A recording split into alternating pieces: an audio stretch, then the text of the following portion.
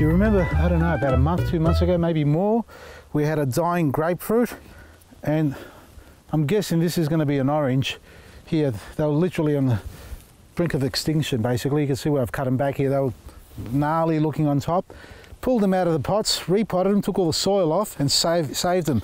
And that's what you can do with any citrus tree really. I mean it could be on, the, on its last legs and we got one today. I'm going to show you how to do that too. Now these have got a little bit of leaf curl going on. We've got some caterpillar attack there and that's all died off there. That was already happening when we first uh, cut it back. So it's good that it hasn't got any further than that. Ideally, you should paint that, and I didn't do that either. That's my mistake.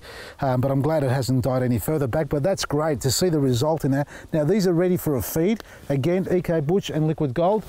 Uh, put some around them like that. Now, I've, I've hydrated them first because it's always good to have the soil a little bit moist before you start fertilizing. You don't want to over fertilize a plant when it's completely dry in the soil. So hydrate it a little bit and then just give it a little top up like this. This is our liquid fertilizer pack. It's the perfect solution for every, every type of plant, folks. So now that's all you need to do with your little trees if they're looking really healthy. But if you've got a dead one, like the one I got over there, well, we're going to dig it up. You call me a gardener and you want to listen to my tips? no, seriously. Look, about 200 metres, no, not even, about 150 metres on that side there in our private gardens. There are eight citrus trees. They're all doing wonderfully well. They're protected. We know that citrus trees don't like high wind and they don't like really anything like that. They don't like wet feet. And even about 400 metres further down, we've got a little grove of citrus that are doing really well. So there's about 30 or odd trees or 40 trees down in that direction doing well. But in here, in this in this veggie garden, I suppose it's the worst location for a vegetable garden because we've got conifers everywhere. We've got eucalyptus on that side. We've got the wind howling through the north and the south. So the veggies have a hard time in summertime. Autumn, winter, this garden thrives. It's perfect weather for the cool climate plants. But citrus trees, well, one, two, three, four, five trees, six trees. I've moved them about three times each each and they don't want to grow. The two that I've got in pots there that I've got them in recovery are doing better than these ones. So now it's time to take it out and this is going to be the last time I'm going to give it a go here. I'm not going to build a wall around it because it defeats the whole purpose of trying to grow a citrus tree in an open area. If I have to put a, a, a wall for protection and stop the wind, then don't have a citrus tree. Plant it somewhere else. Well, in that, you know what I'm going to do? I'm going to dig this up, take out the sunflowers. Can you see the tree, by the way? It's in there. we're going to take this tree out. We're going to put it in a pot and we're going to cut the bottom off the pot out as well because I think for this sort of tree here at least if we can get the drainage to work we'll be in a better place with it and hopefully the wind doesn't knock it out too much so let's get rid of all these brassicas they've been in here too long look how the ground's really dry actually Oh, look at this. This is the shit soil that I had. That's what's happening here. You remember the soil I told you about that just killed all my tomatoes? These brassicas sort of look like they're going to grow, but nah, I don't need you. Get out. Get out. Get out. All right, let's talk about soil. Look at this. Crumbling, yeah, whatever not the way you want it to crumble. Look, look, look how hard that is. No, this was half decent soil, but it's just, I don't know, it's just gone bad. Hydrate it again, you reckon? All right, well, we're gonna do that. We'll turn it over, get rid of the cooch growing in here. Got everything going on in here besides a citrus tree. To dig out any tree from the ground, depending on the time of the year especially, well, at the end of the day, no matter what time of the year it is, when you start digging a tree out of the ground, start with your garden fork. And the reason I say that is that you can actually dig it in like that. You're not going to cut into any roots. So there may be very shallow roots sort of spreading out just below the surface and you don't want to be cutting them off. You if you sever them off, then all of a sudden you're going to cut three quarters of the tree back. Now, regardless of whether I'm going to cut it back or not, you don't want to damage the roots.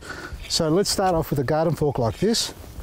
This is going to be easy to pop up. You can see that it hasn't taken and just loosen it up all the way around. It looks easier in this case here, but most times it's a lot harder, especially if they're an older tree and it's a, a tree that's actually growing and you can lift it. Up, there it is. Just popped it up. There's no roots on this, look at this. Oh, here we go again. It's gone backwards. All right, I need a bucket and I need to soak these roots in some water before we do anything else. Just filling this up with water to put some uh, liquid gold, which is our seaweed solution, folks. This is probably, you know, if I can be a bit biased to our own products, probably the best liquid sea, seaweed fertilizer you'll get in the market. Now, I'm going to soak this in there for a few minutes and take off all this soil at the base there. Look at the look at the roots how they've grown back up. You can see it was in a smaller pot in the, once upon a time, so it was almost strangling itself. That sort of stuff there shouldn't happen. It should open up like that neatly.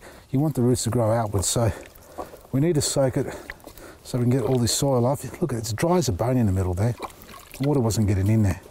And I know we potted this up about a year ago, or planted it in there about a year ago, but well,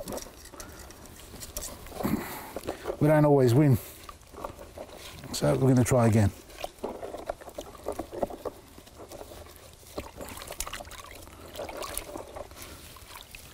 See that? Now we're going to have a cavity in the middle here, so when we pot it up, you're going to have to do some magic to make sure all the soil gets inside there because the last thing you want is air pockets within the root zone.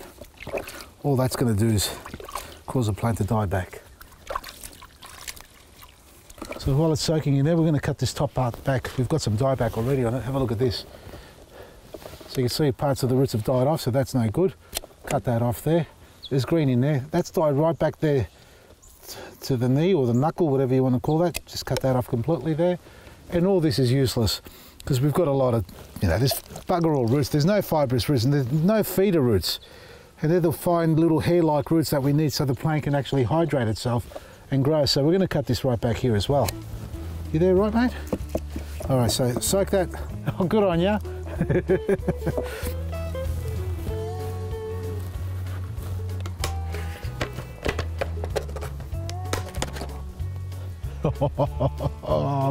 the baby. Huh? Look at them. They look so cute, don't they? so what I'm doing is because we want to have good drainage to help it with the drainage and avoid it getting bogged down, I'm going to grow it in this pot to start with. And I'm taking the base off so that as the tree grows its roots, hopefully it does grow its roots and they grow downwards, um, we'll get it to grow into the ground below. So that way it can search out its feeder roots, its taproot, and whatever roots it wants to grow down below and stabilise itself. And if it doesn't get too boggy down there, at least, well, if it gets too boggy down there, it's got this pot, part of the root system in the pot section above ground, which will allow it to stay drier. Now, we don't want it to dry out completely, and we don't like the soil going hard like this. It's probably my fault I haven't been watering it enough because I couldn't see with all the brassicas in there but that's okay. So we'll just loosen this up again. We haven't lost the tree, folks. We're just going to start again. So we've lost, a, well, probably a year. Let's hydrate this as well. Strawberry, out of the way. That's it. One thing about a no-dig garden, can I just mention this quickly? There's one thing having a no-dig garden, and there's, there's another thing having a garden that doesn't breathe at all. And if it's hard like this, really hard, and it doesn't get any airflow, it becomes hydrophobic, that's not a good no-dig garden. You want a good no-dig garden which, you know, you can put your hands in and you can dig it up and, with your fingers and grab a handful of it and you can see the microbes in it. Well, you can't see, but you can see the activity. You can see the worms. Here, it's dead. Maybe I had too many plants in here. Maybe. I think I did, but anyway. We all learn from our mistakes. So we're putting some black grit down in here as well. I'm going to put a couple of handfuls around this little square metre. So, and I'm going to hydrate that. I'm going to use the seaweed or the liquid uh, gold product that I got in here. That's our tree. There's nothing to cut off on the roots. They're all okay. They just didn't want to grow. Actually, we have got some growth there. You can see some little fine. Are they are they tree roots? No, they're not. They're actually from the brassicas. I bet you they are. No, they are part of the tree roots. Oh, I just cut some off. Never mind. It'll grow back. So let's just pour this in here and get some Okay, there we go. Hydrate this up. Beautiful, put some more afterwards. Now folks, use quality potting mix. Get yourself some good quality potting mix. Unfortunately, where I live, at the moment I haven't got any. I've only got some seed raising mix.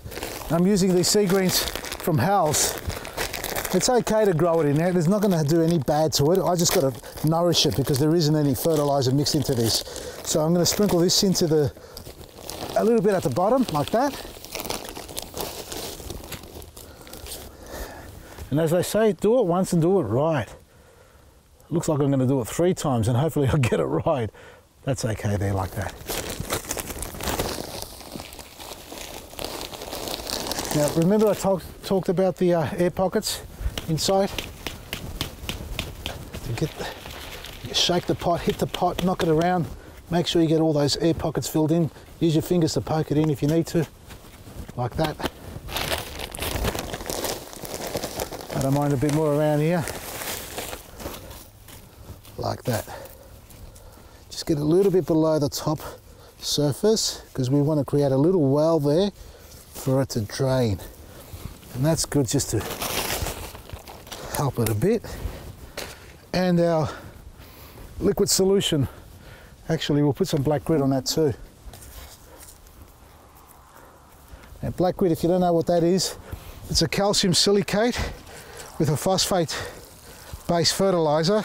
So it, it, it's meant to fix all the missing nutrients or locked up nutrients in your soil. Look at that, that's beautiful. I love that. I love it when it drains like that. Ah, that's getting in there.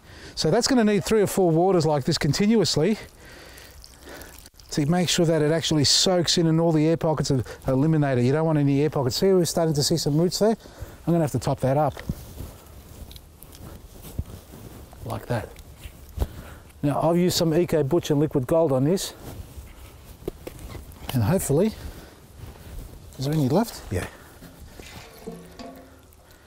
Okay. And that's it. That's all we can do. Now hopefully the tree settles down, starts to grow its roots, and if it's really happy, it'll push its roots down below. I've got to keep this hydrated, so I haven't been hydrating it properly. I've got to put some mulch in here and hydrate it, and then we'll just sit back and hopefully it starts to grow for us.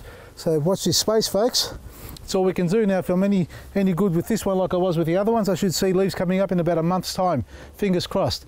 Check out our website, vasilisgarden.com. We've got our Eco Boost or Eco Butch, sorry, liquid gold and black grit, all at discounted rates and a free delivery across Australia. It's all at vasilisgarden.com. From me, Vasili, Baresi.